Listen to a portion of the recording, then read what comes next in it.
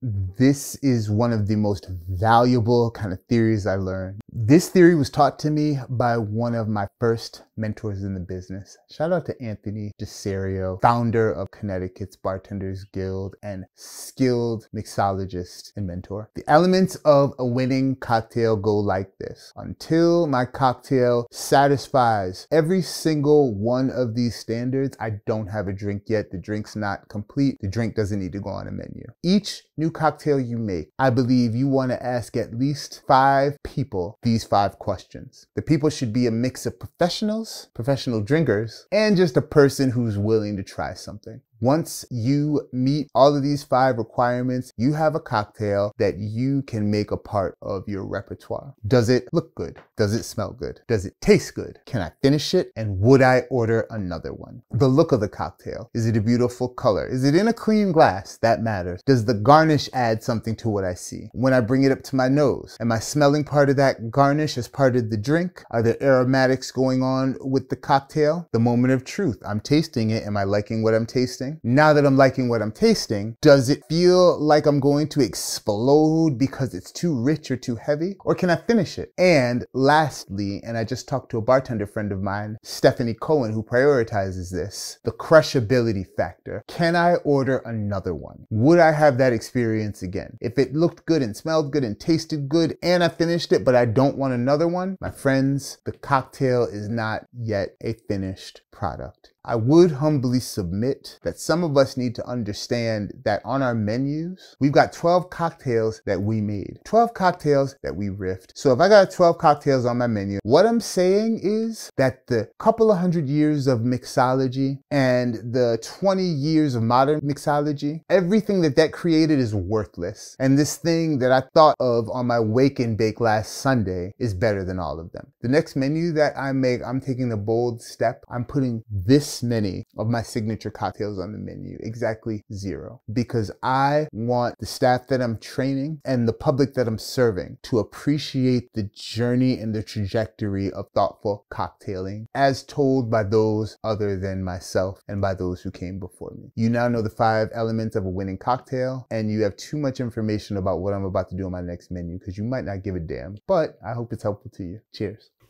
And that is all.